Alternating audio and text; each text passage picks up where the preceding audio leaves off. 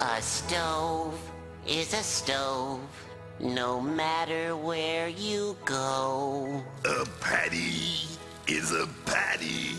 That's what I say. A grill